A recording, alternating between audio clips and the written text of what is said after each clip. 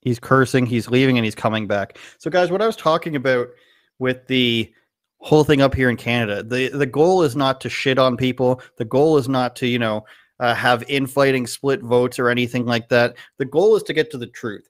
So, and this happens so much here where somebody where something happens, it happens in Ontario. There's a lawyer, and maybe I'll start naming names all across the, the country once this lockdown's finally over but there's the leaders of all these groups, there's lawyers, they're all just waiting to pounce on something that they can profit off of. So what happened here is a guy, a guy went through court case, they misread this at the start. He said, "Oh, look at this, somebody else caught on." They're like, "Come on and talk about it." And we're like, "Great, we've beaten the lockdown." And then probably 5 minutes later they said, "Oh, actually we uh we misread it. That's not what it means." But uh let's keep going. Let's keep going. And that's what happened in Ontario. The emergency order was planned to end for months. It had an end date it ends, and then a lawyer says, "Oh, you know, my challenge is the one that is actually what ended." It's the same thing. People are using the same tactics across the entire country. They're doing it for their own clout. They're doing it for their own money.